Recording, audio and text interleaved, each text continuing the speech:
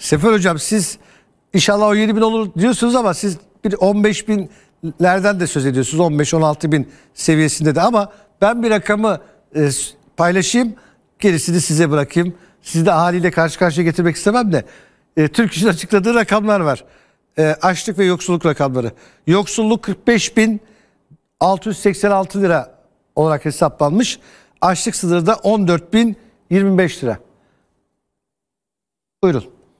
Evet tabii Kerem Bey burada önemli bir ölçü var. Şimdi hükümet mesajlarını verdi aslında. Sayın Yılmaz da bir önceki gün asgari ücretle ilgili önemli mesajları vardı bizler açısından aslında bakıldığında. Burada bir defa şuna karar verildi anladığımız kadarıyla yıllık yapılacak. Yani evet. e, eskisi gibi 6 aylık olmayacak. Yıllık devam edecek bu iş. Şimdi yıllık olunca iş değişiyor. Neden değişiyor? Çünkü 6 aylıkta bunu telafi etme şansınız var. 6 ay sonra tekrar enflasyonun durumuna göre yeniden bir artış yapılıyor idi. Ki bu Temmuz'da yapıldı biliyorsunuz %35'i aşan bir artış yapılmış oldu aslında evet. bakıldığında. Şimdi böyle bir telafi mekanizması vardı. Fakat bu da şuna yol açıyordu. İşte beklentiyi yukarı seviyelere taşıyordu. Şimdi bir defa burada yıllık yapılmasına karar verilmiş anladığımız kadarıyla. Şimdi yıllık yapılınca da ölçünüz ne olacak? Yani geçmiş enflasyonu mu alacaksınız, geleceği mi alacaksınız? Şunu söylüyoruz. Diyoruz ki ister geçmişi alın, ister geleceği alın. Gelecek orta vadeli programda yüzde 35 tabanı bu. Yani üzerine ufak bir pay dahi koysanız asgari ücretin yüzde 40'ın altında artma şansı yok. yok. Bunu net söyleyebiliyoruz. Şimdi orta vadeli programda böyle. Diğer taraftan Merkez Bankası'nın beklentisi var bir de biliyorsunuz yayınladığı enflasyon beklentisi. Buradaki rakam da gelecek yılla ilgili yüzde 36. Yani buraya da baksanız burada da aynı şekilde. Yani şimdi diğer taraftan ne var? Piyasanın beklentisi. Bu da yüzde kırklar civarında şu anda. O zaman bunun üzerine bir de refah payı koyduğunuzda rahatlıkla diyebiliyoruz ki önümüzdeki dönemle ilgili asgari ücret artışı en azından yüzde kırk civarında olacak ama yukarı seviyesi de yüzde elliyi aşabilir. Bakın e, yıllık yapıldığı için yüzde elliyi aşabilir diyorum. Zaten Kerem Bey evet asgari ücretle çalışıyor gözüküyor toplumun çoğu hani çalışanlarımızın ama e, zaten asgari ücretin biraz üzerinde alanlar daha çoğunlukta. İşte asgari ücret 11.400 lira şu anda. 13 bin alan çok fazla. 14 bin alanlar var. 15 bin alanlar var. O yüzden hani bu rakamlar da önümüzdeki dönemle ilgili bu rakamlar da Türk İş'in araştırmasından da bahsettiniz. Yukarı seviyelere çekilecek. Fakat Sayın Yılmaz'ın verdiği Başka bir mesaj daha var orada dikkat ederseniz. Özellikle işverenlere dönük de bir mesaj veriliyor. Tarafları mağdur etmeyecek şekilde evet. deniliyor. Yani tarafları mağdur etmeyeceğiz dediğiniz zaman hem işçileri mağdur etmeyeceğiz e, demektir bu. Hem de işverenleri mağdur etmeyeceğiz demektir gördüğümüz kadarıyla. Ama bizim beklentimiz sizde gayet güzel arkadaşlar yansıtıyor. Bizim beklentimiz asgari ücretle ilgili yıllık olacağı için İster geçmiş enflasyonu ister gelecek enflasyonu baz alın. %40'ın altında olma şansı çok çok düşük. Çok çok düşük diyoruz. Yani %40'ın altı bir hayal kırıklığını ortaya çıkarır. Ama buradaki rakam 40 mı olacak, 45 mi olacak, 50 e, mi olacak? Yıllık olduğuna göre bunu bir defa 50 ile tutup e, ama bunun da karşı önlemlerini alıp yani biz burada 50 olsun vesaire diyoruz ama bir de emek yoğun sektörleri de düşünmek lazım. Evet. Mobilya sektöründe böyle bir sorun var. Tekstil sektöründe böyle bir sorun var. Yani e, dolayısıyla bunları da düşünmemiz de gerekiyor. Hani zaman zaman çalışanlarımız da eleştirebiliyor bu sözlerimizi. Deniliyor ki yani hani çalışanları düşünmüyoruz da hayır çalışanları zaten düşünüyoruz. Bir işsizlik dalgasına yol açmamalı yani. E tabii yani bunu bir hani e, kayıt dışına yol açmamalı. E, yani böyle olduğunda da hani aşırı artırdığınızda da bu defa kayıt dışılık ortaya çıkıyor. Yani farklı şekilde e, maaş vermeler e, ortaya çıkıyor. Bunu da engellemek gerekiyor. Bir taraftan bunu da düşünmek zorundayız ki hükümet de bunu da düşünüyor dikkat ederseniz. O yüzden diyoruz ki asgari olarak %40'lık bir artış gözüküyor. Yani 15.962 lira arkadaşlar hesaplamışlar. Evet. Neti bu. E, asgari bu seviyelerde olacak ama e, %45'ler 50'ler de gözüküyor önümüzde. Yıllık olduğu için bunu rahat söylüyorum. E, ee, 6 aylık olsa böyle bir şey söylemeyiz zaten. Ama yıllıkta da şunu da kesinlikle engellememiz gerekiyor.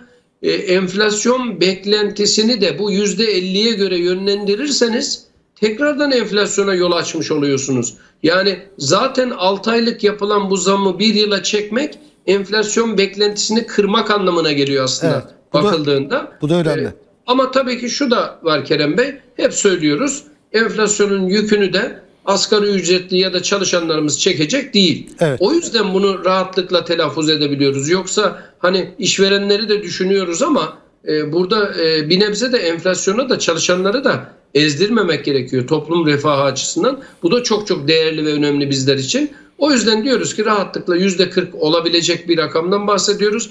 Ama e, benim beklentim daha ziyade 40 ve 50'ler arasında %40 ile 50'ler arasında bir rakamın gerçekleşeceği ve bir yıl boyunca da artık asgari ücretin konuşulmayacağı ve böylelikle de o fiyat beklentisinin de Kırılacak. kırılması gerektiğini söylüyoruz Kerem Bey. Buyurun. Ee, Sefer Hocam zaman zaman konuşuluyor. Biz de e, sizle tartıştık ama bir kez daha ben hani e, sormak isterim. E, Türkiye'nin her yerinde e, harcamalar aynı değil. Yani örneğin İstanbul'daki kiralarla Anadolu. Ben şimdi bir eşitsizlikten söz etmiyorum. Ama Anadolu'daki kira aynı değil. Ulaşım giderleriyle değil. Zaman zaman da konuşuluyor. Mesela sanayinin yoğun olduğu yerler işte Marmara, e, üretimin çok yoğun olduğu yerler, tarımın yoğun olduğu alanlar var. Bölgesel asgari ücret meselesi. Bu da bir çare olabilir mi acaba? Vallahi Kerem Bey e, açıkçası hani bölgesel asgari ücret noktasında ben çok verimli görmüyorum.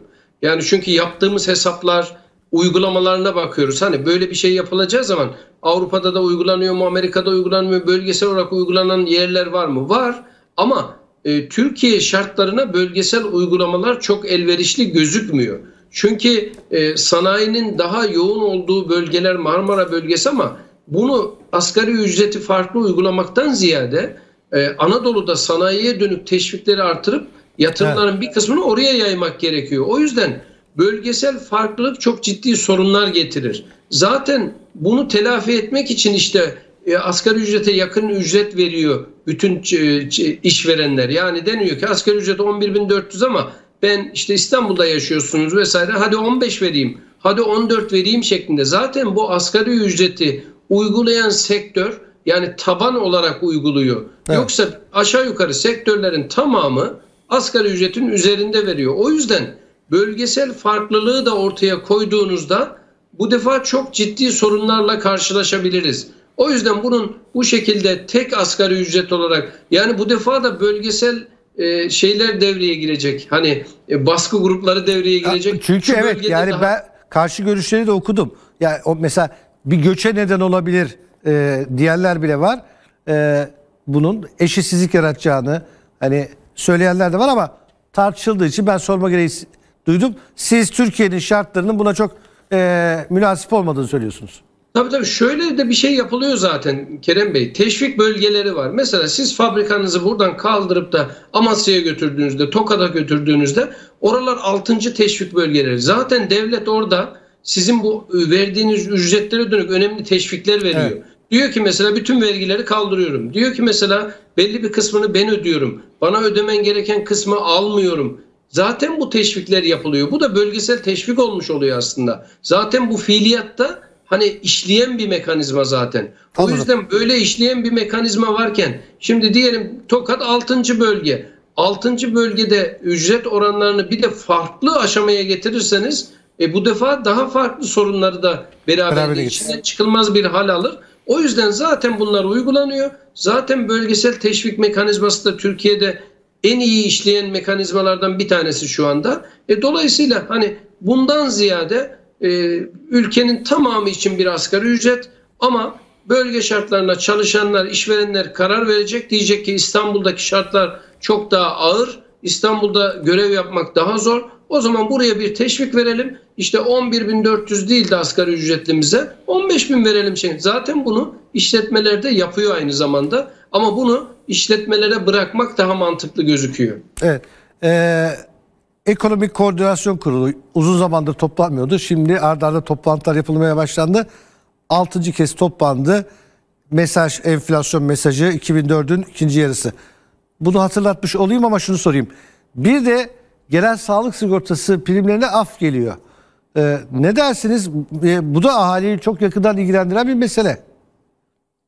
Valla Kerem Bey şimdi ikisine de cevap verelim tabii ki. Bir defa Ekonomik Koordinasyon Kurulu hani aylık bazda toplanması gereken bir kurul. Aylık Evet. bazda toplanıyor zaten. Burada politikalarla ilgili yani ekonomiye yön veren politikalarla ilgili önemli kararlar alınıyor. Yani buraya e, hatta bu defaki toplantıda e, basına yansıyan noktalardan gördük. Özellikle strateji ve bütçe başkanlığı bundan sonra 12. kalkınma planının uygulanmasıyla ilgili raporlar hazırlayacak kısa Evet. vadelerde. Yani bu rapor bu rapor aslında neyi kapsıyor?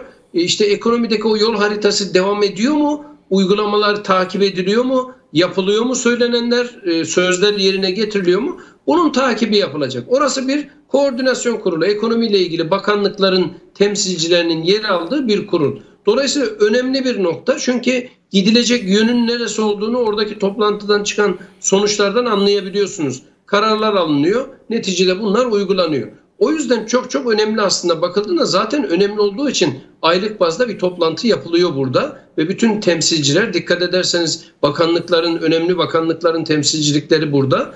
E, dolayısıyla aynı zamanda da tabii hem de partinin yani AK Parti'nin de temsilcilikleri, ekonomiyle ilgili temsilcilikleri burada bulunuyor bu kurulda. O o yüzden çok önem arz ediyoruz. Yani önemlidir diyoruz bu konu, e, bu kurulla ilgili kısım. Şimdi diğer taraftan bu e, af getirilmesiyle ilgili. Evet. Daha ziyade Kerem Bey biliyorsunuz hani aftan ziyade bütün bunların zamanında ödenmesi e, herkesin çıkarına olan bir durum aslında bakıldığında. Fakat işte bir takım sebeplerle hani e, maddi durum ya da işte mücbir sebeplerle ödenemeyen kısımlar olabiliyor. Evet bunlar için getirmek mantıklı ama bu mücbir sebeplerin tespiti de çok zor gözüküyor. Yani işte kişinin maddi durumu bozuluyor, geçici süre bozuluyor, bir süre işsiz kalıyor vesaire.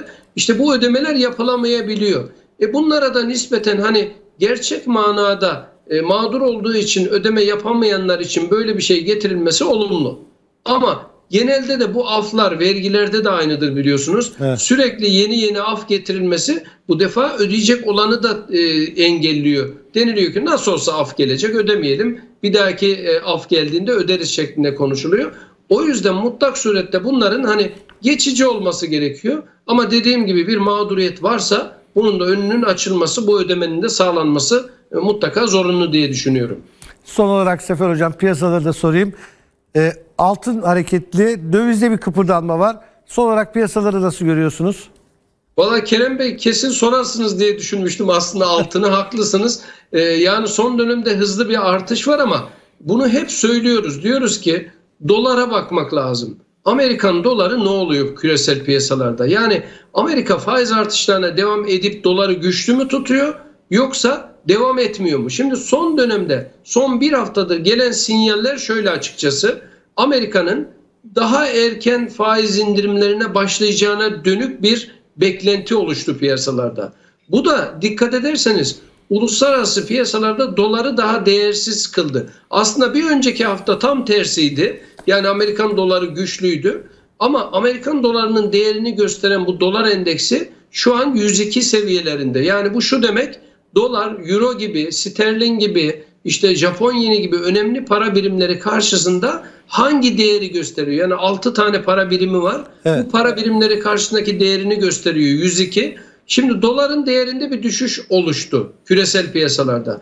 Diğer taraftan Amerikan tahvil faizleri aşağı yönlü geldi. Yani bu Amerika'nın daha erken faiz indireceği beklentisini oluşturduğu için otomatik olarak bu altın gibi, gümüş gibi değerli emtialara yansımış oluyor. Yani doların faizi düştüğü anda altını yukarıda görebiliriz. Şimdi gelinen noktada sizler de yansıtıyorsunuz. 1902 TL oldu. Neyi? Gramı altının. Aynı zamanda 2045 dolar oldu ons olarak. Yani son bir haftalık dönemde yaklaşık olarak 80 dolar onsu arttı altının. Evet. E bu da gramda aşağı yukarı 100 liralık bir artışı beraberinde getirdi. Önümüzdeki dönem eğer bu beklenti bu şekilde devam ederse yani e, doların düşeceği, Amerika'da faizlerin erken indirileceği beklentisi gerçekleşirse biz altında ons olarak çok daha yukarı seviyeleri görebiliriz. Bunun da beklentisi içerisine girmek lazım. Bunu hep uyarıyoruz zaten ama çok dikkatli bir şekilde takip etmek gerekiyor piyasaları Kerem Bey.